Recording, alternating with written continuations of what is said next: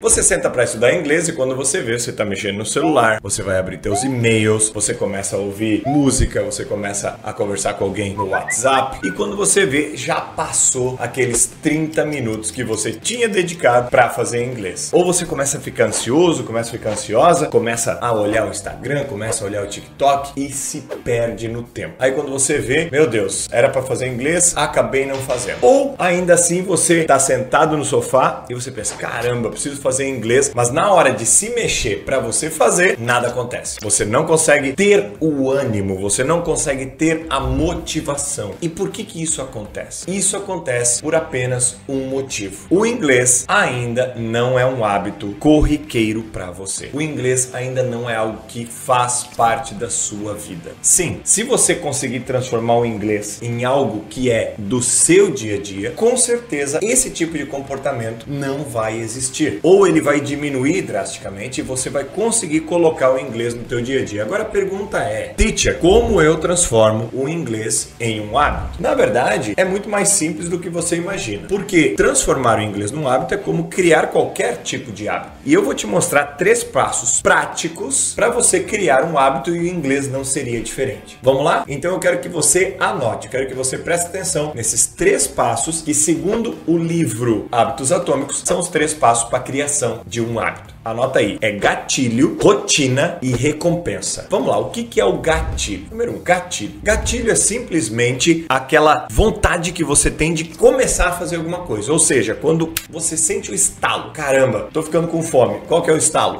o barulho no teu estômago. Ah, opa, tô com fome, né? Você sente vontade de assistir televisão. Qual que é o gatilho? Ah, tô cansado, cheguei do trabalho, cheguei da escola, cheguei de algum lugar, quero ver uma TV. Ah, qual que é o gatilho para você você, por exemplo, fazer esportes. Chegou o final de semana, chegou sexta-feira. Qual que é o gatilho para você encontrar com os teus amigos? Ah, é quarta-feira, toda quarta-feira eu encontro com os meus amigos. Tá vendo? É o estalo, é aquele momento onde que as coisas se repetem. Sempre que você tem um gatilho para alguma coisa, significa aquilo já está implantado em você como um estalo. Teacher, o que, que eu posso fazer para criar um gatilho para ter vontade de fazer inglês? Vamos lá, simples. Presta atenção. Você vai colocar um alarme no seu celular. Só isso. Sim, você vai colocar um alarme no seu celular. Como assim um alarme, teacher? Sim, 6 e meia da manhã, 10 da manhã, 3 da tarde, 7 da noite, o horário que você definir. Todo dia o seu celular vai despertar para você fazer o inglês. Só isso, teacher? Sim, você precisa de um gatilho, você precisa de um estalo. E hoje o único jeito de você sentir isso é alguém lembrar para você. E se você não tem ninguém para lembrar para você, o teu celular pode ser exatamente o que você precisa. Então, crie esse gatilho, coloque um despertador no teu celular. Fechou? Ótimo. Vamos para a segunda situação agora, criar uma rotina. Se você colocar o alarme no teu celular, coloque ele para pelo menos quatro vezes por semana. Vamos começar com três a quatro vezes por semana. Se você nunca estudou inglês, esse negócio de estudar todo dia às vezes fica meio complicado. Por quê? Porque até achar rotina, até conseguir achar a tua agenda, você vai criar três a quatro alarmes por semana, certo? E você vai fazer o esforço de realmente fazer inglês naquele momento. Você precisa se policiar. Você precisa colocar um pequeno esforço. O único jeito de ter motivação é depois da ação. É motiva a ação, não é ação motiva.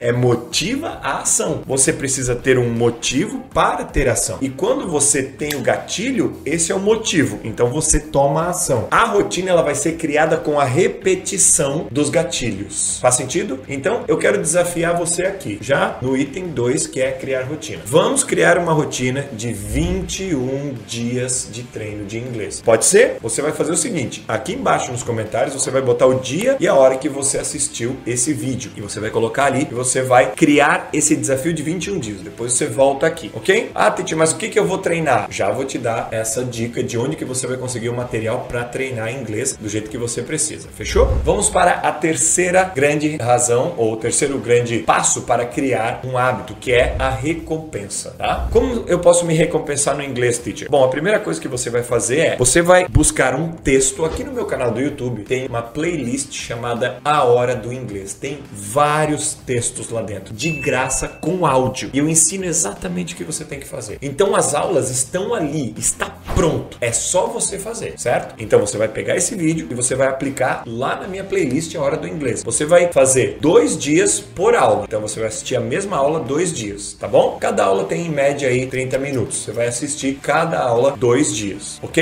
Muito bem. Tem texto suficiente para você fazer isso lá. Aí você vai gravar a primeira vez que você ouve esse áudio. Primeira vez que você lê. Ou seja, você vai ouvir, depois você vai ler em voz alta e vai gravar e vai deixar salvo esse áudiozinho. Aí você vai treinar esse texto dois dias seguidos. E depois você vai gravar de novo para ver a diferença na tua fala. Entendeu? Então você vai escolher um vídeo da minha playlist, você vai ouvir e você vai ler e você vai deixar gravado. Você vai fazer dois dias de treino, de acordo com o que eu explico lá no vídeo, e você vai novamente ler e vai comparar os dois textos. Quando você comparar, você vai ver uma evolução muito grande e isso vai te dar um sentimento de recompensa. Além disso, você vai fazer isso durante 21 dias. Então, treina um texto, grava a primeira vez e grava a última vez. Troca de texto. Treina uma vez, ok? Você pode fazer quantos textos você quiser. Ah, eu vou fazer quatro dias um texto. Tudo bem. Vou fazer três dias. Tudo bem, tá? Vou fazer um texto por semana. Tudo bem, ok? Mas grave a primeira vez e a última para você ver a evolução. Isso vai dar um sentimento de recompensa.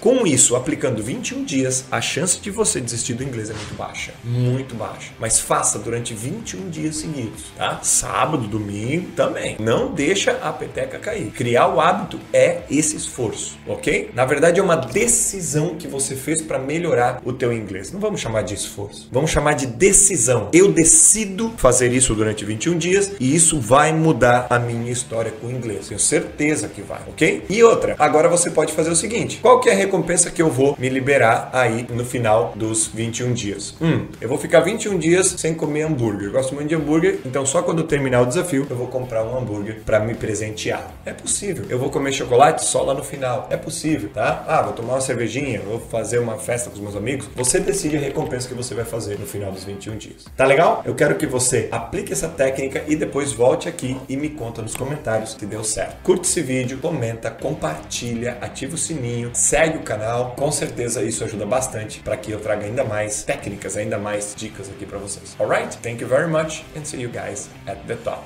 Bye bye.